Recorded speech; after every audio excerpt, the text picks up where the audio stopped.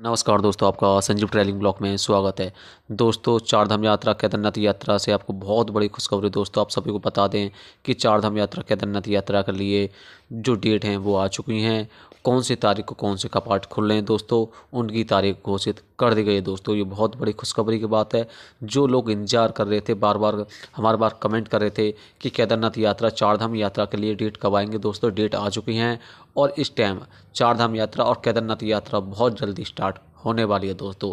सबसे पहले हम बात करते हैं कि सबसे पहले कौन से धाम के कपाट खुलने वाले हैं। दोस्तों 22 अप्रैल को आपकी चार धाम यात्रा शुरू हो जाएगी दोस्तों। 22 अप्रैल को आपके गंगोत्री और यमुनोत्री के कपाट खुल जाएँगे दोस्तों। ये सबसे बड़ी खबर है दोस्तों। 22 अप्रैल को गंगोत्री और यमुनोत्री के कपाट खुल जाएँगे।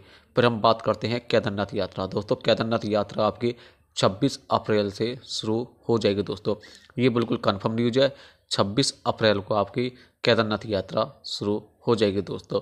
उसके बाद में आपकी सत्ताईस तारीख को आपके बद्रीनाथ के कपाट खुल जाएँगे दोस्तों। ये बिल्कुल कंफर्म न्यूज़ है दोस्तों। आप अपनी तैयारी करिए दोस्तों।